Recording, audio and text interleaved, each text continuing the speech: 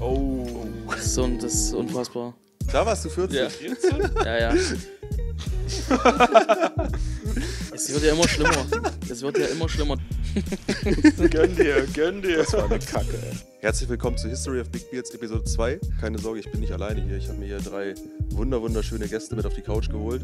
Und ich würde sagen, wir gucken uns jetzt mal ein paar alte Fotos und Videos an und reden so ein bisschen über euren Bartstyle.